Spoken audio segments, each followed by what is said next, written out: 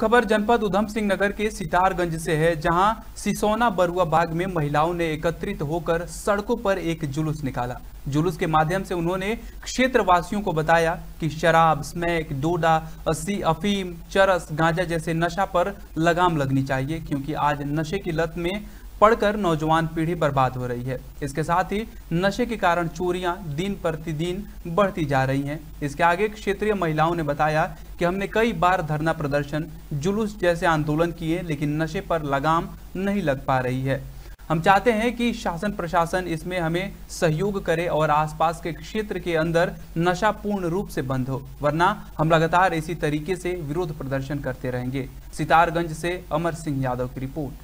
मामला ऐसा है नशा नशे के विरुद्ध है नशे में ऐसा ही गाँव लुप्त हो गया है ना कुछ नहीं जा सकती या इसमें एक बिक्री कच्ची दारू बिगड़ी है और ये महिलाएँ इतनी परेशान हैं, इनके जो पुरुष हैं, बच्चे हैं इतने बिगड़ गए हैं वो घर का धान, चावल, राशन, गैस चूल्हा तक देते तो आज ये इतनी परेशान है तो ये सड़क में आई है। इसलिए इन्होंने आगे प्रोग्राम चलाया है हमारा। सबसे पहले तो मैं आपके चैनल का धन्यवाद देती हूँ।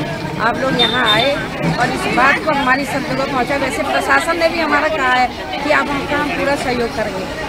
और हमारे कैबिनेट मंत्री सौरभ गौड़ा जी ने भी कहा, आप लोग करो और ये आंदोलन चलाइए। मैं भी आपके साथ